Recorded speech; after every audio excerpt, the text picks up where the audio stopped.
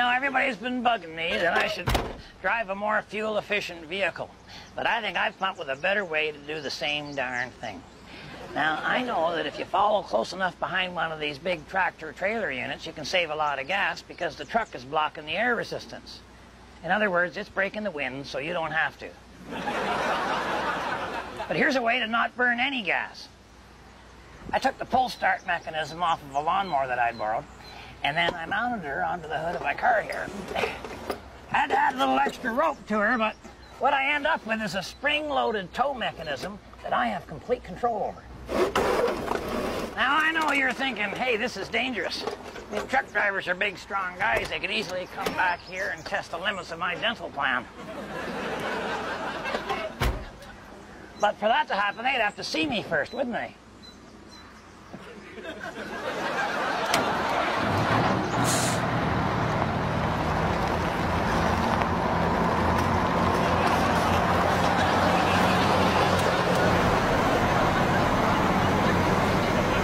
If the guy starts heading in some direction I don't want to go, I just release the handle, drop her into gear, head for the next truck stop.